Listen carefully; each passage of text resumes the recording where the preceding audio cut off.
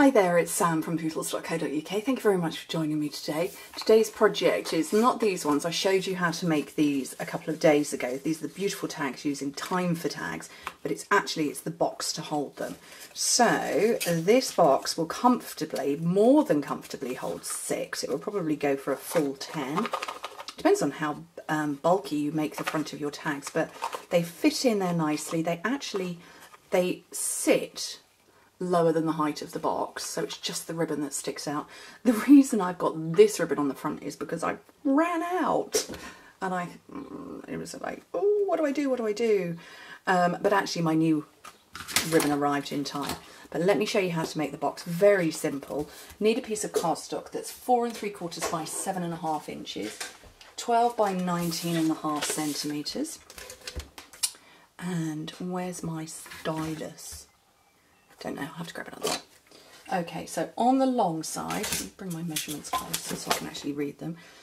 On the long side, score it at one and an eighth, three and a half, four and five eighths, and seven inches, which in metric is three, nine, 12, and 18. And then turn it around and score it at one and an eighth, um, by, uh, which is three centimetres.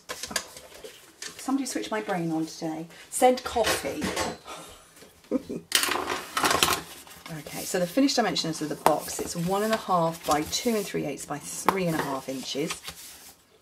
Um, and the tags are two by three. So you've got, um, that's why you've got the extra room. So they're only two by three inches. So there's plenty of room all the way round and when they're inside. Okay. So, little bits to snip. Snip a bit there and there. And cut that one away. Not with scissors. That's a better pair. No, it's not. It's got sellotape.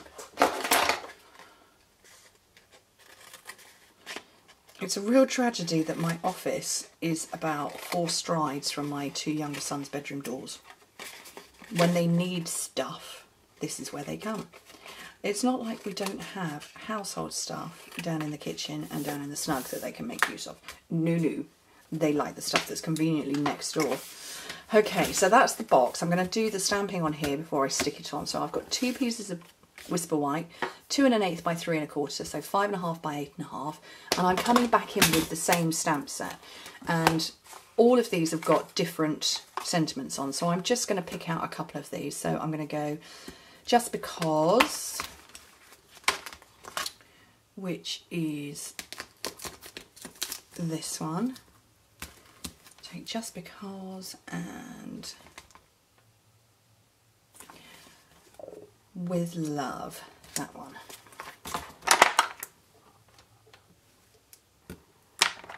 A couple of tiny little A blocks. And I went with the, um, oh, I can't think, Balmy Blue and Highland Heather for that one, but I'm going to come in with, no I'm not, Blushing Bride and So Saffron. And I'm just going to randomly stamp everywhere.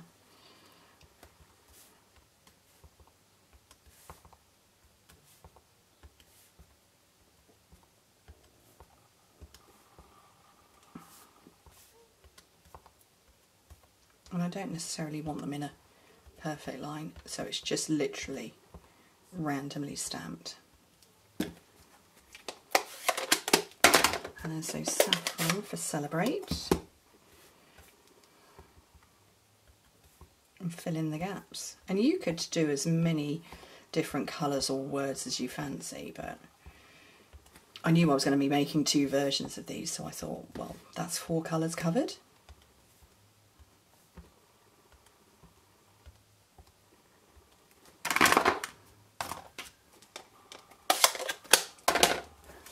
and then snail hiding under here.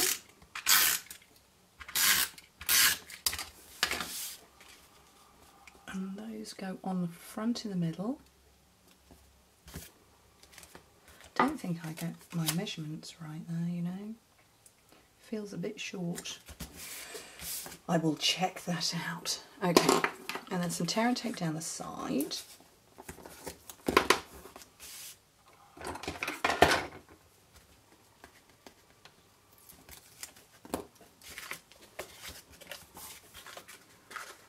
Two sides in and the back.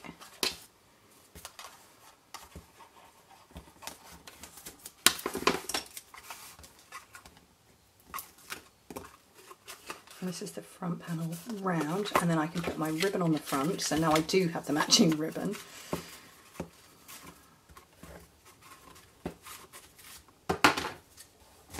And I'm going to tie a square knot.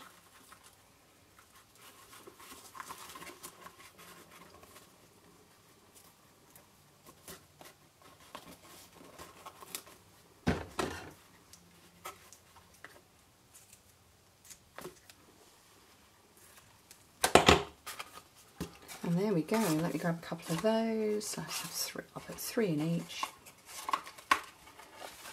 Cute, cute, cute. Yeah, I've definitely got the measurements wrong. I'll have to work out what that's meant to be. Anyway, thank you ever so much for joining me. Hope to see you soon. Bye.